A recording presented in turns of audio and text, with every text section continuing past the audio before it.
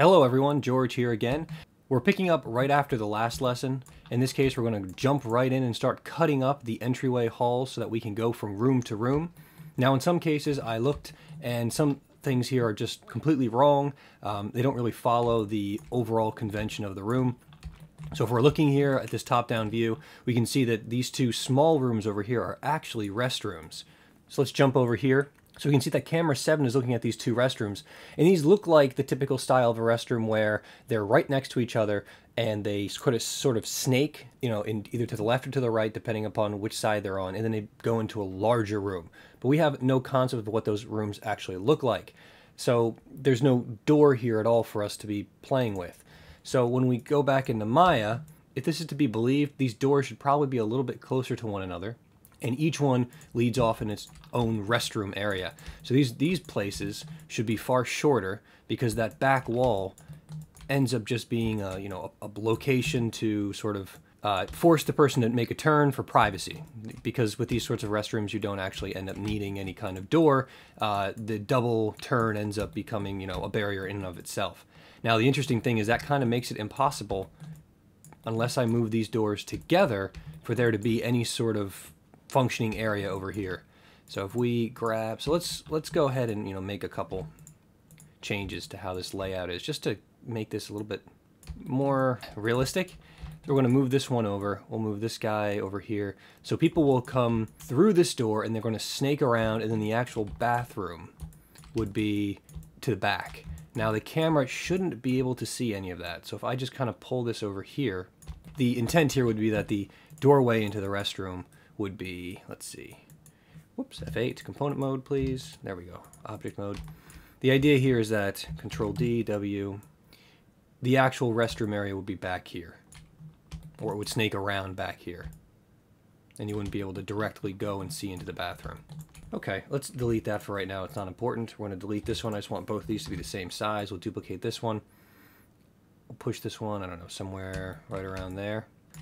Let's go ahead and start slicing things up. So this is the main room right here. Now the hallway, I don't know, I got to take a look at how this feeds into the other area. So let's go back to our footage real quick. That would be room, what, cam 2A, 2B. Now unfortunately these cameras are so incredibly noisy, I don't know. I mean, let's see, we got a light source up there, and we have some stars on the walls. And we have what looks like, geez, that's hard to see. I, I'm guessing this feeds into the stage area. I don't know which way 2A is looking. So is this door on the left from where we are the entrance into that closet room, that three, the camera three area? And are we looking down the hall then towards where people would be coming? So it looks like there are tables back there, right? There's a table there and a table there. Are those the same sort of table that's here? Are there party hats on there? So let's just uh, let's assume it's a straight shot into the other room then. That means I don't actually need a doorway at all. It just kind of goes into it. So we're going to get rid of that element. Whoops. Let's get rid of that. Delete. And let's go in here and delete this one. And we just need to combine these rooms together now. I'm going to assume it just kind of feeds right into the other room. So let's just uh, slice up the big room and give it some stuff to work with. So let's go shift right click, insert edge loop tool, bring up the tool. We'll do relative distance for the moment. We'll pick, we'll do there, there, there, and there. That way we can slice up and move this right over to the entrance. So move that edge over and grab this edge and move it over. Grab that edge, move it over, and let's just grab this one now and push it right there. And now we should be able to start nuking stuff. Now I am going to need a top edge because the heights are different. So let's once again F8, uh, G key, well not G, right click, insert edge loop tool, we'll put one somewhere around there, grab that edge again, constraining the Y direction and hold down the V key and snap that edge right there. Okay, now we should be good to nuke these two portions. And we can come in here now as well and just get rid of these back walls altogether, can't we? We'll get rid of both of those. Come in here, grab this one as well, get rid of both of those. So I'm guessing if this is a true kind of entrance, there's probably or if this is the front of a true location. Ooh, what happened over here? Why is that green? Did I lose the material? Right click, assign existing material. Let's just give it a Phong. Yeah, something happened with the material. Right click all of them, Phong it. Perfect. Save. So I'm guessing one side is the entrance and one side is the exit. And that way both of them go past the security room. So if you're really keen on security for this location, that's how you do it, I guess. I don't know. Let's come back to the side. We're going to make this hole even bigger. Do the same for over here. So now we can uh, we can merge these two areas together. Uh, let's just grab these edge and W it. Whoops, soft selection mode, did not want that. Make sure it's off, looks like it's off. Hold down the V key, move it in, snap it, come over here, right click edge, and constrain and V snap. Okay, save. All right, so now we have our entrance and our exit, which all go past the security room. And I guess this is making a little bit more sense, although it scares the hell out of me to think about it, because when you're in this game, you do feel very distant from the animatronics. But if you look at this setup, it's not that far. Uh, I mean, they're coming from off stage up here, and they're coming out and moving around, and, and yeah, it's it's not very far, which makes a lot of sense though, because sometimes the animatronics move damn fast, right? So this is why they're moving so quickly. It's not much of a space, and that's why um, was it Foxy can just jump on down here and run through the hallway and pretty much kill you in a few seconds. So this is where I need to start thinking if I want to just export this out right now and bring it into Unity, set the cameras up, and start looking through the cameras and getting a sense if they're at the right location, if I want to go to that extreme. And I, I really don't know if I want to. Um, you know, is there a reason to go that far?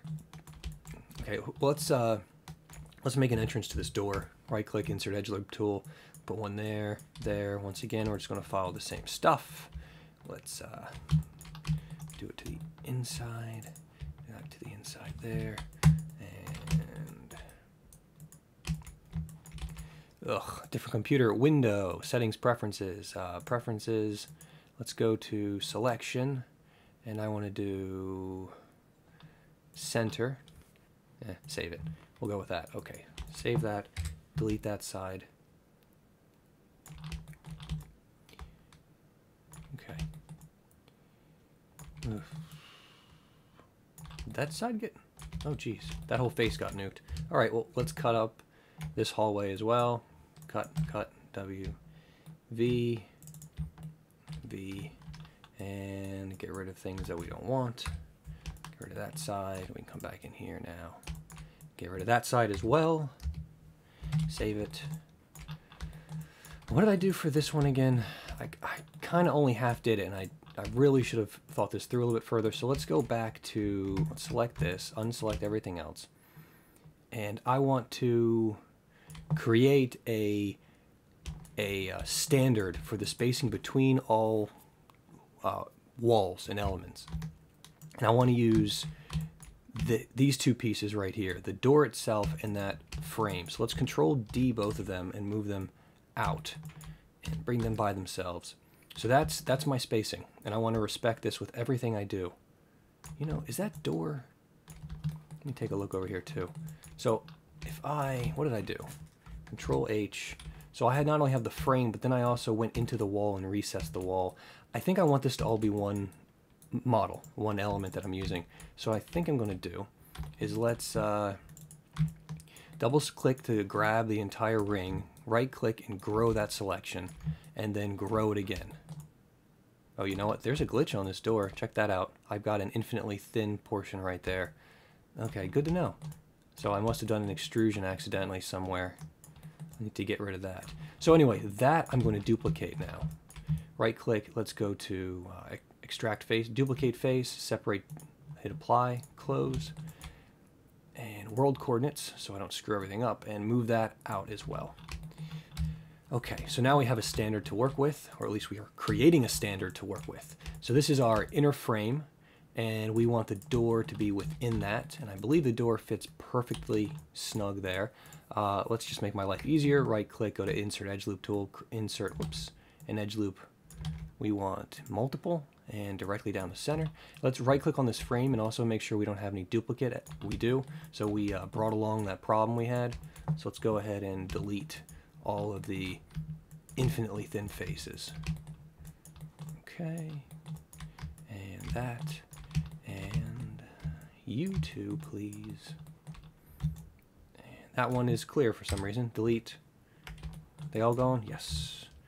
Save. Always save.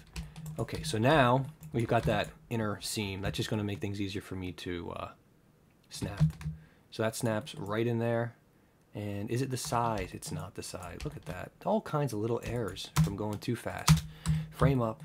Look at this from uh, hold down shift, uh, modify, center the pivot. That's probably the issue. Okay, there we go. So now the door fits in there, although it doesn't look like it's fitting snugly. See how it kind of busts out on one side, but not on the other side?